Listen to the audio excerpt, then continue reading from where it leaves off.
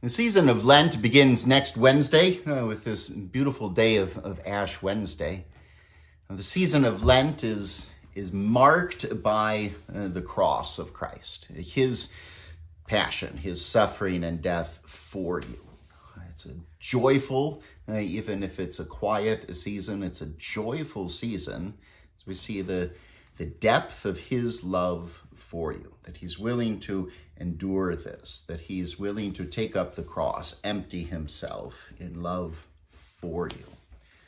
Uh, the cross and that amazing love of Jesus marks the season of Lent. That's the chief mark of it.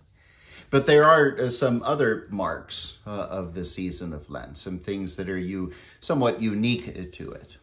Uh, catechesis is something that marks the, the season of Lent. If cat echo is the word that catechesis comes for, and it's you hear in there that an, an echo. It's a it's a passing on, a repeating, of a handing over uh, of the Christian faith. It's it's a way of instructing in the Christian faith. Uh, the season of Lent uh, has that emphasis of instruction. We certainly instruct uh, the, the Christian faith. We teach it throughout the year, but uh, Lent has a particular focus. Uh, in the in the early Christian church, uh, those who were converts to Christianity most often were baptized at the Easter Vigil. So Saturday night, as the sun goes down before Saturday before Easter, as the sun goes down, the great Easter vigil would begin. And at that is uh, service, which sometimes could, could last a very long time, those who were converts to the Christian faith, who had been instructed in the Christian faith for, in some cases, years uh, leading up to that point, they would be baptized. Uh, in the name of the Father, Son, and Holy Spirit. They would come to the Lord's table and receive the body and blood of the Lord Jesus uh, at the altar for the first time. Uh, and and since that was a kind of a, a pinnacle there, as we get this great celebration of Jesus' victory over death begins at sundown uh, on Saturday uh, evening, uh, and they were brought into uh, the the life of the church, baptism, and the Holy Supper for the first time at the vigil. That that season of Lent, those weeks coming right before that, were a, a time of uh, a very detailed instruction uh, and preparation for that. So Lent often has had this, this catechetical uh, or instruction uh, focus to it. Um, in our congregation this year, we're having a focus on, on instruction. Uh, and uh, one of the things that we need to be, uh, be clear on, especially as, let's say, as parents, but really anyone, you are going to say something about the Christian faith. Especially as parents, you are going to teach the faith to your children. It's not a matter of if you're going to do it. Uh, it's more a question of, of how. Uh, are, are you going to have some kind of plan? Is it going to be purposeful? Is it going to be thought out? Or, or will you say nothing about it? And by saying nothing about it, and you show that it's kind of a nothing for you and it's fine for it to be a nothing for your kids. Um, you're always going to be saying something about God. Uh, we can say that everything is, is theology. Theology is words about God. And if God has made everything, if he's the maker of all things visible and invisible, then everything that we say is at least indirectly it's at least indirectly theology. It's saying something about God. We're always going to be saying something about him. Uh, and, and if as parents in the Christian household, it's our, one of our callings to teach the faith, then we, we need to come to terms with this, this idea that it's not, it's not a matter of if you're going to teach but how. Um, what I'd like to do, uh, at least uh, going through this season of, of Lent, is uh, talk about the how you know, how does this look in the Christian house? Uh, whether there are, you know, children who are uh, under the age of 18 who still live there uh, or not, or even if you live on your own, um, to think through how uh, the instruction of the Christian faith continues happening outside of a Sunday morning, outside of, of church service, uh, outside of a Bible class or Sunday school. How does this happen in the Christian home? Um, in the back of our uh, you know service folders that we use here on uh, at our church, uh, we've been having uh, some uh, little things that can help out with that, and I have a new uh, title for it going into this coming Sunday. Kitchen Kitchen Table Catechesis is what we're we're going to call it, uh, because a a good uh, a good spot for teaching Christian faith, I think, is at the kitchen table. when we fill our bellies, it's a good time to fill our souls. When we eat bread, it's a good time to think about the bread of life. When we drink water, it's a good time to think about rivers of, of life that, that flow, as Jesus talks about. When we nourish ourselves physically, I think it's a good time to nourish ourselves spiritually. We do this in, in, it's the heart of the matter, is the heart of the, the Christian life on, on Sunday morning uh, when we have word and meal together gather at the Lord's table. Uh, we receive spiritual food in the Holy Communion, the preaching of the Word of God.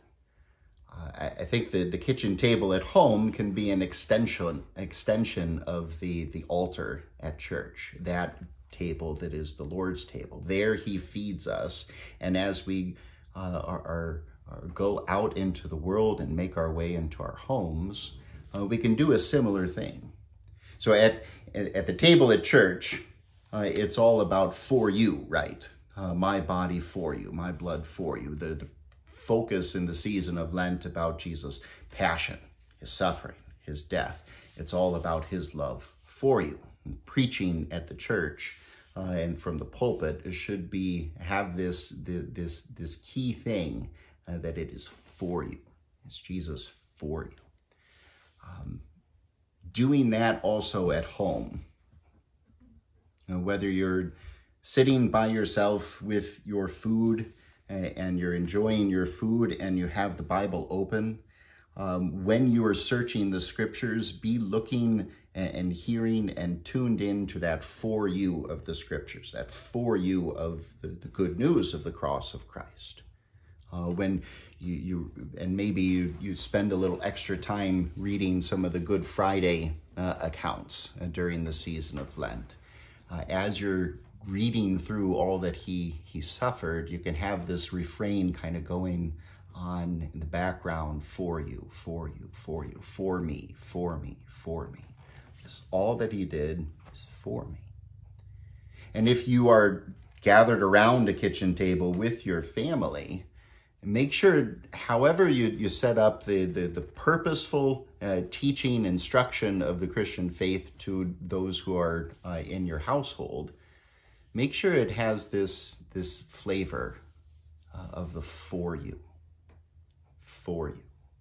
So that this is not law-based, burdensome, you need to behave better, um, which, you know, dads especially, and with their, their children, you need to talk about their behavior. Um, but more than anything else, and covering their misbehavior needs to be this Jesus for you stuff. So the uh, the resources we have that we'll, we'll be making use of uh, at our church um, we'll, we'll try to be uh, helpful in that, you know. And I'd like, uh, you know, once a, a, week, at least through the season of Lent, to have a video like this and to talk about some of the broader practical matters about how do you teach the faith to your household. Um, this is especially important for, for dads. Um, the impact that dad has uh, on his family's faith uh, is huge And at the, the very center of everything is the Father's heart. And God the Father, Son, and Holy Spirit, the Father loves us, and so he made us. The Father loves us, and so he sent the Son. The Father loves us, and so he has breathed out the Holy Spirit through the Son uh, in the, the means of grace to bring us to faith in the Son so that we can call him Father. At the, at the very heart of all things uh, is the, the Father's love. And, and when our earthly fathers don't care about the faith or don't speak about the faith or have no way of handing down the faith and catechizing us in the faith, uh, then, then there's something huge that's missing. Um, and so dads especially, you know, I want to uh, instruct you and help you and encourage you and uh, in how you hand over the faith because it's not a matter of if you're going to do it uh, but how you're going to do it. So about once a week, uh, you know, at least through this season of Lent, I want to have uh, these videos to talk about some broad practical matters about the how, but then also to walk through uh, some of the, the details that we have coming up for the next week. Um, so I'd like to do that uh, now. The, for, for next week, the part of the catechism that we want to focus on uh, is the address of the Lord's Prayer, Our Father who art in heaven.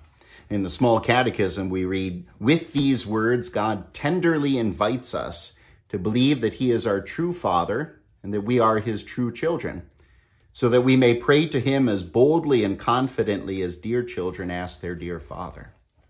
So with your household, uh, this this coming week, you know, starting Sunday and going all throughout the week, uh, one of the things that we want to focus on uh, is this uh, this welcome invitation to pray to God as boldly and confidently as dear children do that. The, the, the gospel reading is about uh, a, a, man who uh, cried out to Jesus. Uh, he knew that the Son of Man was coming. Uh, he was a blind man, and he cries out, Lord, have mercy. Uh, and so throughout the week, you can, uh, uh, especially, I would suggest, you know, uh, breakfast, uh, dinner, uh, times when you can sit down at the table with the family and fighting for that time, making sure that you can do that, and then talking about the, the Christian faith. and especially if you have little children, to just read like that part of the catechism, know, the address of the Lord's Prayer. And what does that mean? Uh, if that is echoed all throughout the week, uh, it starts to sink in. It starts to create questions in them. You know, what does it mean?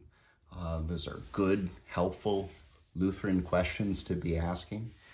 Um, the way we do it uh, at our house uh, is uh, inconsistently, and that's my problem, my fault. Um, but we, what we try to do when we're, we're doing it well, and when I'm remembering to, to stay on top of it, is that we'll use uh, the, we use the Treasury of Daily Prayer, which is a, an excellent resource that came out uh, more than 10 years ago now. Uh, and it has uh, Matins, uh, which is a morning prayer service. And so during uh, breakfast, while the boys are sitting down, my wife and I will we will chant uh, these parts of the, the service. We'll do some singing, uh, and that will uh, make an impression, I hope, uh, on our kids that this is an important thing. Uh, this is a joyful thing. This is something you sing about. Um, and then when we get to uh, th through the, the readings for, from Scripture, when I'm when I'm doing my job well, I'll just read the the part of the Catechism uh, so that hopefully by the end of the week, they've heard that part of the catechism about 10 times and they've probably got it memorized already. Um, and then we'll also talk about it a little bit. But then, uh, so that we'll have that part of the catechism. We also have a, a, a quote from the large catechism, uh, which we don't use a whole lot with uh, our kids. Sometimes I'll read it um, and say something about it, but this could uh, be a uh, you know good thing to devotional thought uh, for you as adults uh, or for older kids uh, to uh, bring up something like this. It's a little more, more deep. Um, so the quote from the Large Catechism for next week when we're thinking about prayer uh, and this wonderful invitation that we have that we can be like the blind beggar on the side of the road who boldly cried out, Lord, have mercy to the son of David. We can do that with God. Um, the quote from the large catechism for next week to, to chew on is, is this. For whenever a godly Christian prays, Dear Father, let your will be done, God speaks from on high and says, Yes, dear child, it shall be so in spite of the devil and all the world. Um, and this is a quote from the Large Catechism that I think I will use uh, with with our boys uh, next week. Our, our oldest is not even 10 yet, uh, and uh, he can, this is right at his level. This is right at our four-year-old's level. Uh, we can talk a lot from that, uh, that there's, there's reasons that we might think that God won't hear our prayers. Uh, or that he doesn't hear our prayers, uh, or uh, that he's uh, answering in a way that is somehow against us. And so uh, Luther says here, you know, in spite of the devil and the world, uh, the, the thoughts about the world and the things that the devil wants to say might make us think that God doesn't hear, that he doesn't care, or that he's somehow against us. Uh, and so we could talk with the kids, you know, uh, about that. You know, sometimes it feels like he's not listening.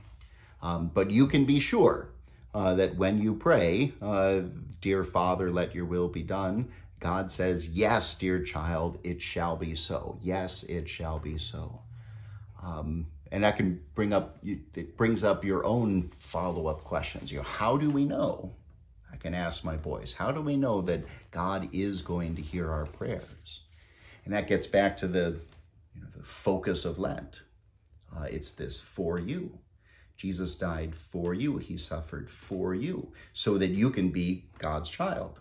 So you can call on the Father. So there's this opening uh, that is not something that depends on you being good and you ticking all of the boxes. Instead, because Jesus died for you, because you're baptized into Christ, you are God's own child. And so he hears your prayer um, because Jesus died for you. And that's what I uh, plan on emphasizing with, with my boys uh, next week.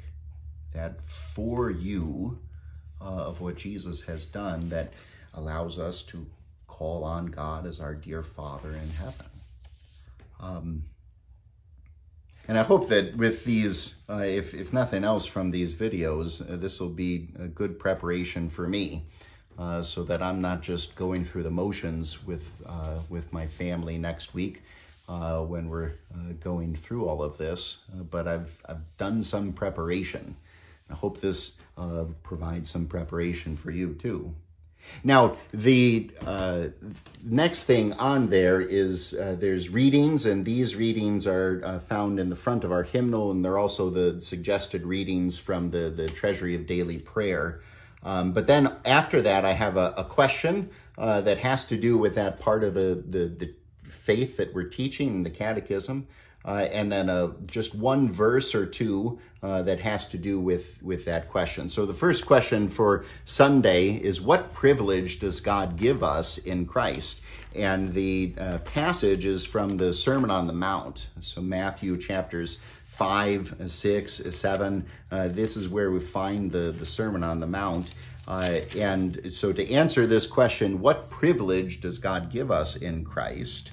Uh, I want to look at Matthew 7, verses 7 and 8.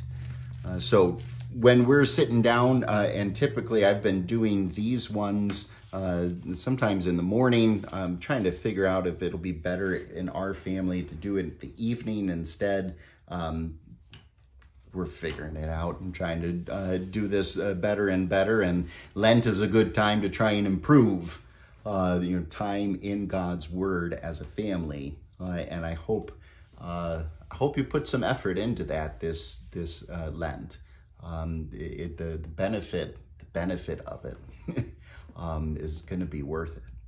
Um, but we might be, uh, you know, at dinner time, uh, I might ask this question, what privilege does God give us in Christ? And then I'll read from Matthew 7, verses 7 and 8. Jesus said, Keep asking and it will be given to you. Keep seeking and you will find. Keep knocking and it will be opened for you. For everyone who asks receives, and everyone who seeks finds, and to the one who knocks it will be opened.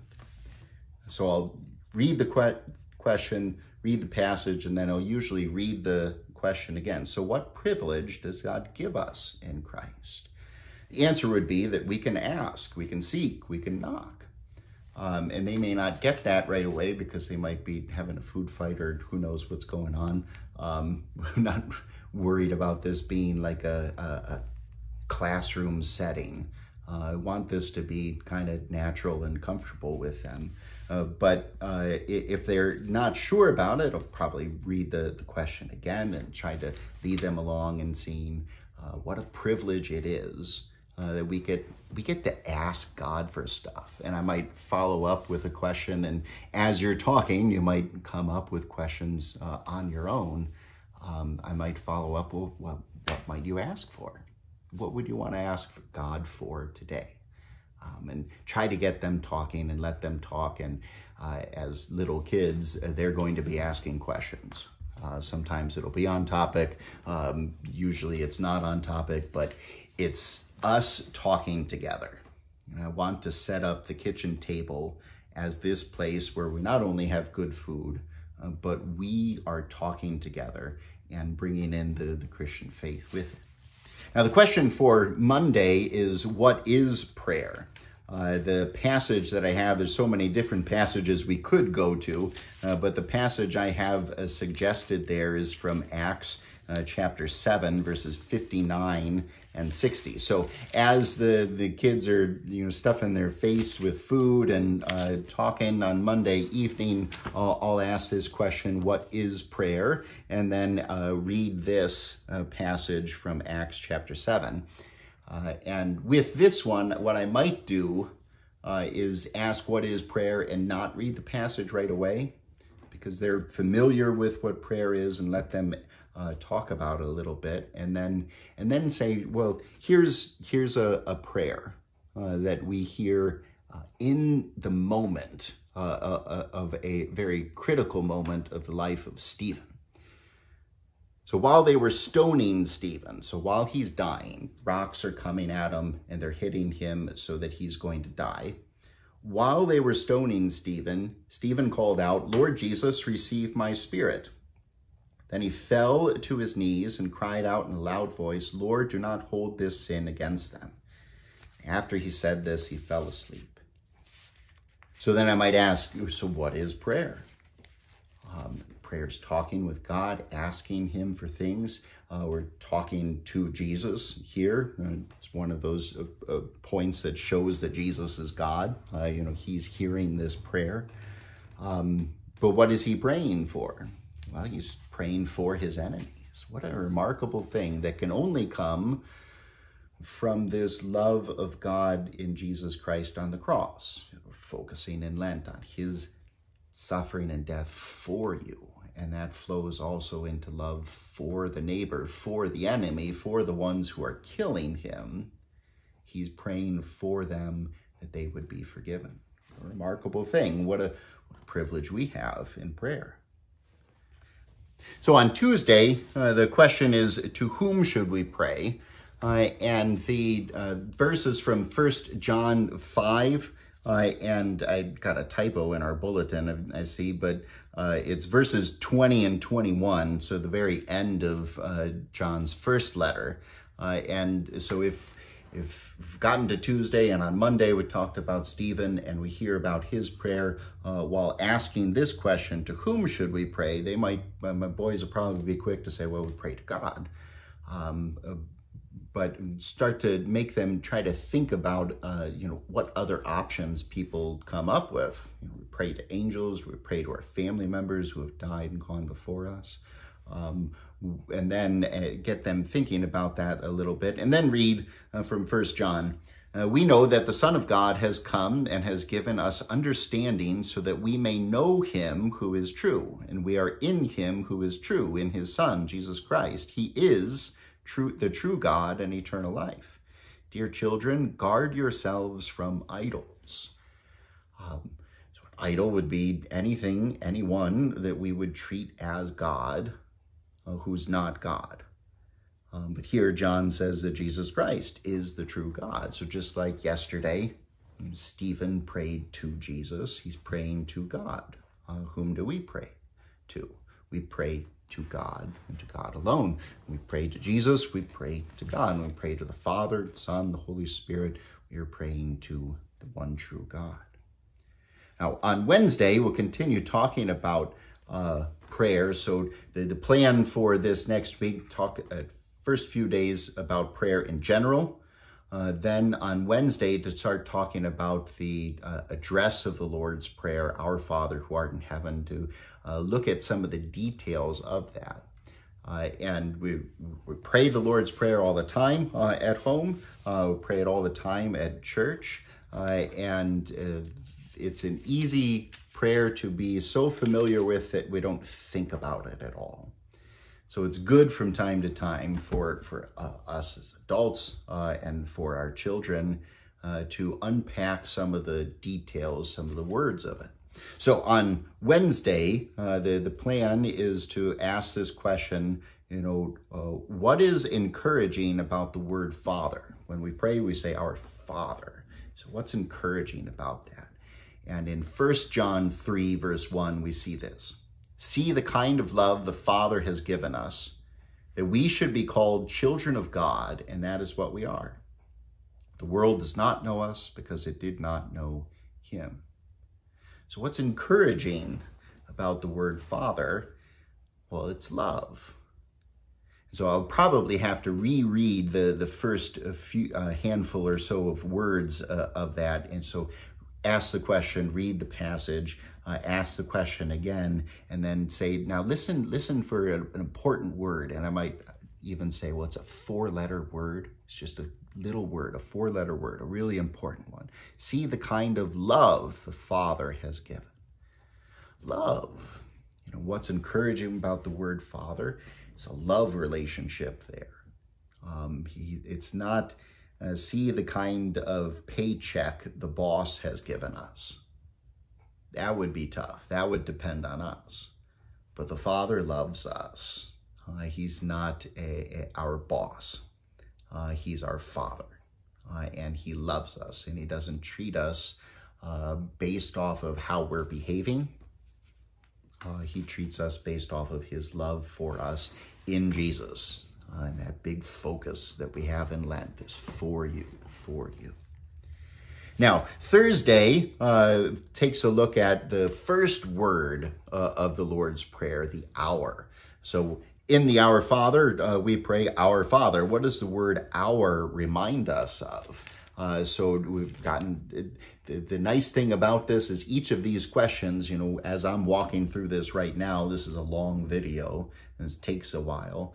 But each of these questions doesn't take much uh, time at all. Uh, when you're doing them by themselves uh, day after day and to do that just a little bit each day. Uh, it's like making sure that your house plants have just, just enough water, just enough water uh, to thrive.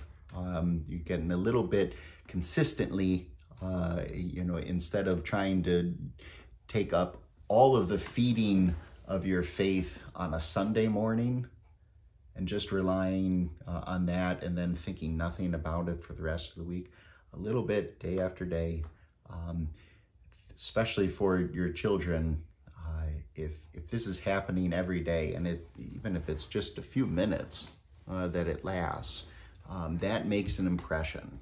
You know, this is important. This is an everyday thing. Uh, and this is a joyful thing too. You know, you know, I don't want it to be um, this is math class uh, and they hate math uh, and there's pressure or anything like that. This is what we talk about. This is what we like to talk about. And if if your kids are so young that they're not, uh, you know, uh, at a point where they're answering any of these questions, if if they're at the table and mom and dad are talking about it, and there's something like a Bible or Treasury of Daily Prayer, the hymnal open, they're used to that. They become familiar with that. They know mom and dad are talking about this thing. Um, and, and that sinks in for them. So uh, when we get to, uh, what is it, Thursday next week, uh, Galatians 3, 26 and 27, uh, the question is, uh, what uh, does the word our remind us of? So we say, our Father who art in heaven. What does the word our remind us of? Galatians 3, verses 26 and 27. In fact, you are all sons of God through faith in Christ Jesus. Indeed, as many of you as were baptized into Christ have been clothed with Christ. So what does the word our remind us of? Um, well, because of baptism, we're part of this family uh, with everyone else who has been baptized. It's not my Father who art in heaven. That would be accurate. It's true, my Father. But we're taught to pray our Father. You know, our Father who art in heaven. So as many of you as were baptized. So you are brothers and sisters uh, with everyone else who's been baptized into Christ. What a wonderful thing to have our family uh, together underneath our Father. Um, we're, we're tempted to think that the, uh, especially in, uh, in America, I think, tempted to think that my faith is my faith and it's just this personal thing between me and, and God. Um, but that robs us of such uh, joy uh, and help, uh, support uh, that we could get from the rest of the family of God. It's not my faith. Um, it's never just me and Jesus or just me and the Father. Um, we're taught to pray our Father. And as many of you, as we're baptized into Christ, have been clothed with Christ. Um, and so there's such a gift that God has given us in the whole family of God. And I want, I want our boys to recognize that. Um, and I want to recognize that because I'm tempted to, uh, to not rely on the people God has given me around me. Uh, Friday, uh, the question uh, moves, so we want to focus on our Father who art in heaven. Uh, we want to focus on the who art in heaven part. Uh, and for that, we're going to go to the Psalms. So Psalm 124, uh, verse 8, we're going to look at that verse on Friday.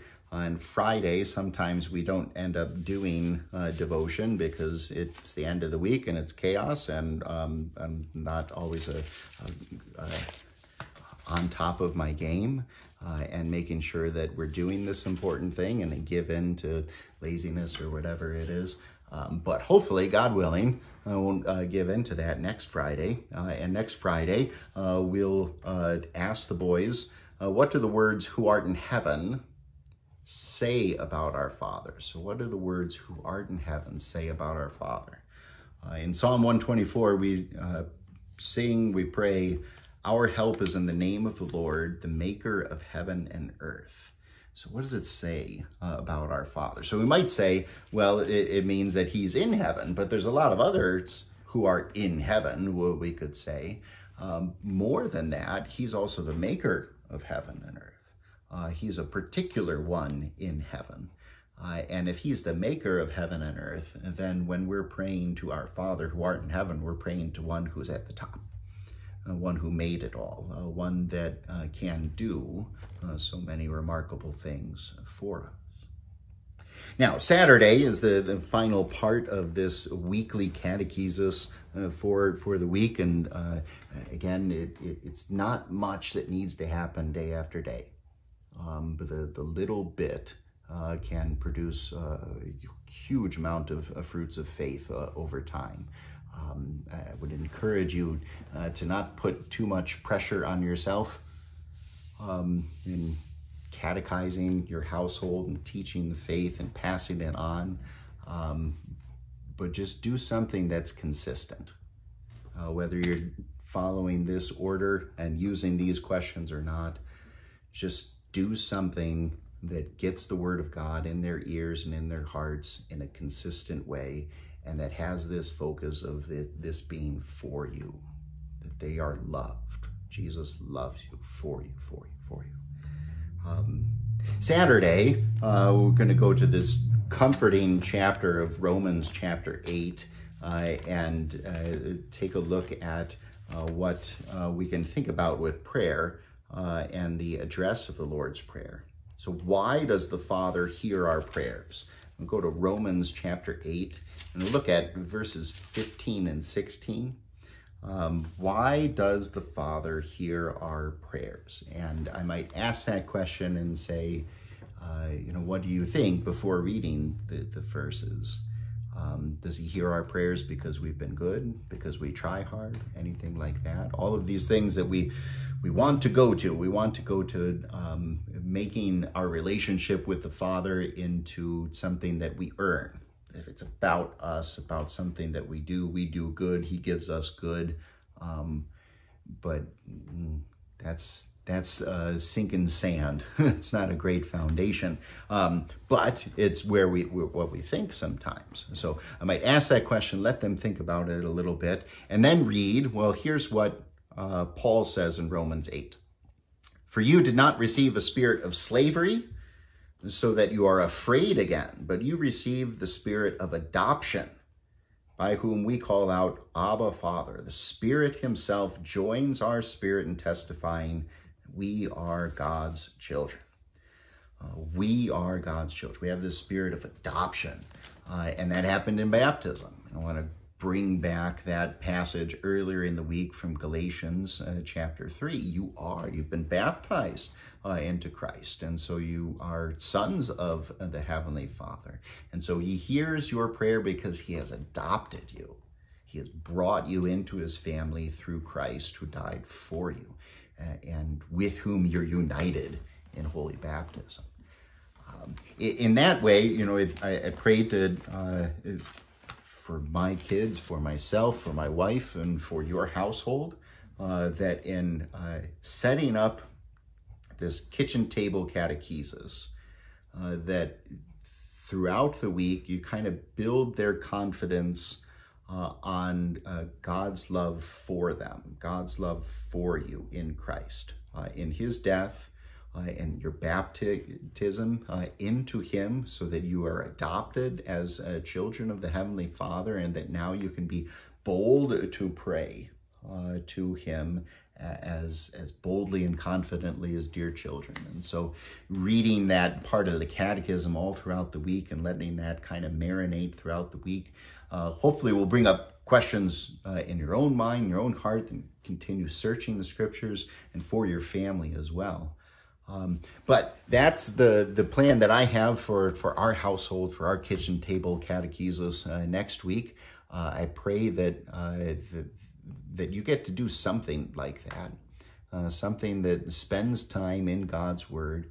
Uh, and I pray that this video is somewhat helpful uh, in helping you, especially if you're a father, to prepare and to teach the faith with some purpose and with a plan in mind uh, because it, it, it is not a matter of if you're going to teach the faith. Next week, you are going to teach the faith. Uh, it's a question of how is it going to happen. Uh, will you say nothing about it and in that way say that the faith is a nothing thing for our house? Or will you have some kind of a plan uh, that, that gets to this for you uh, about the, the love of God in Christ Jesus for you? I pray that this has been helpful and uh, hope to, to do uh, one of these videos every week for, for a little bit here to uh, uh encourage you uh, in this wonderful work uh, of teaching the faith at home. God be with you this week.